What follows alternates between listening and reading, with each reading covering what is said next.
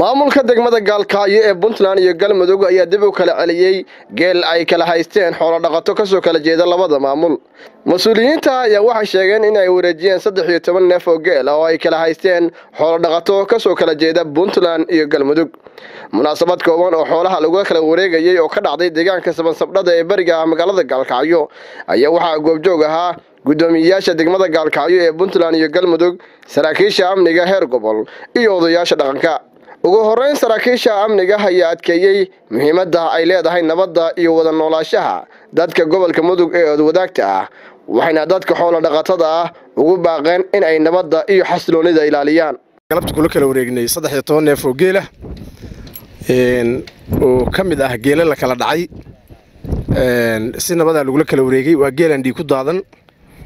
Waxaan caadaysanay waayahan dadku hadday wada degaan waxyaalaha iska yimaada laakiin in si nabada wax loo kala wareejiyo.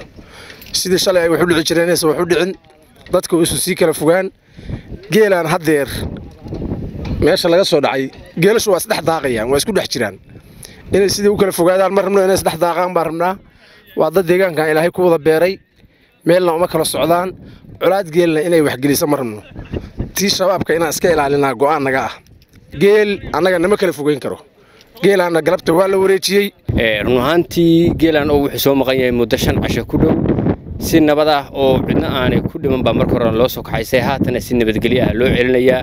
Qorshihiisuna wuxuu ahaa geel kale oo maqan mana doonayno nabadda gobolka mudug oo mataanaha lagu wada yahay oo lagu wada degan yahay. Inuu neef geel ah uu faraha ka saaro dooni mayno.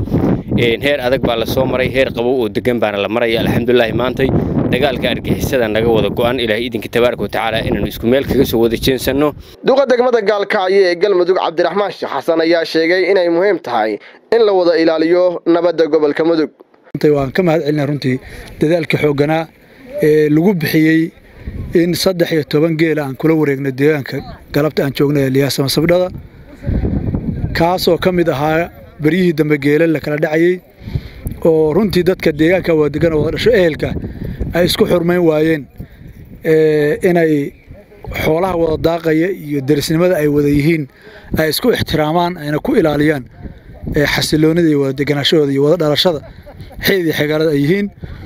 Mar kale iyo mar kale waxaan rabaa waxgaradkii iyo odayaashii ka shaqeeyey inay saddex iyo tobanka neef ee geel ah ee horay dhanka galmudug looga soo qaaday galabta si nabada noogu sallimaan ayagoo runtii geelashii kale weli ay dhiman yihiin aad iyo aad baan kaga mahad celinayaa iyo dhammaan maamulkaba. Insha allahu tacaala runtii ka maamul ahaan waxaan halkan u joognaa galmudug iyo puntland dad walaalaa isku mid ah aan kala maarmin. Runtii ka digtoon wixii horay dadka ardaasha ay uga shaqaynayeen iyo wax la mid ah walaalaha miyiga degan waxaan leenaha walaalayaal dad wada dhashay oo deris aad tihiin dad muslima aad tihiin walaal ah ilaahay ka baqa caqabadda iyo xoolaha islaameed a xalaashaysanaysaan ha la joojiyo.